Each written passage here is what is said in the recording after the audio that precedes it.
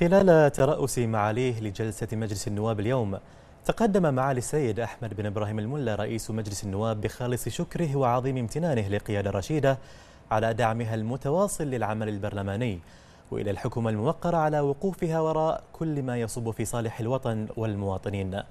هذا وقد بدأت الجلسة بموافقتها على تقرير لجنة الشؤون المالية والاقتصادية بشأن قرار مجلس الشورى حول المعاملات الإلكترونية وتمت إحالته إلى الحكومة لرفعه إلى جلالة الملك.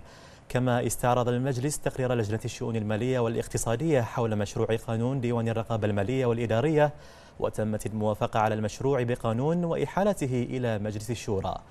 هذا وقد قرر المجلس الموافقة على ثلاثة اقتراحات بقوانين وإحالتها للحكومة وهي الكشف عن الذمة المالية وقانون المرور ورعاية وتأهيل وتشغيل المعاقين. وفي بند استدراك قرر المجلس الموافقة على 46 اقتراحا برغبة وإحالتهم إلى الحكومة.